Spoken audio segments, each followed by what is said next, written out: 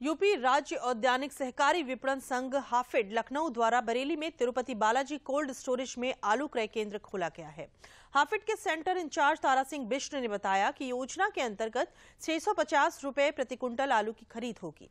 इसके लिए आलू किसानों से संपर्क किया जा रहा है, जिससे किसान अपना आलू क्रय केंद्र पर ला सकें।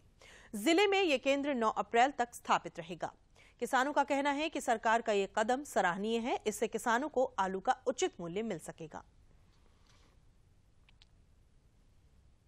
देखिए प्रदेश सरकार ने उत्तर प्रदेश के जो आलू के किसान हैं, उनको उपज का अच्छा मूल्य उनको मिल जाए इसलिए पहले चरण में उत्तर प्रदेश के सात जिलों में ये केंद्र स्थापित किए हैं। ये एक बाज़ार हस्तक्षेप योजना है भारत सरकार की, उसके अंतर ये खोले गए हैं। इसी में बरेली भी है। बरेली में हमने सेंटर खोल दिया है। दस तारीख से योजना लागू हुई है, तीस दिन तक चलेगी।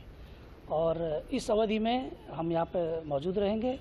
कोई भी किसान भाई बरेली का, जिसको आलू, जिसको इस केंद्र पर बिक्री करना चाहता है, अगर उसको लगता है कि बाज़ार में अच्छा मूल्य नहीं मिल रहा है तो वो यहाँ पर हमसे संपर्क कर सकता है।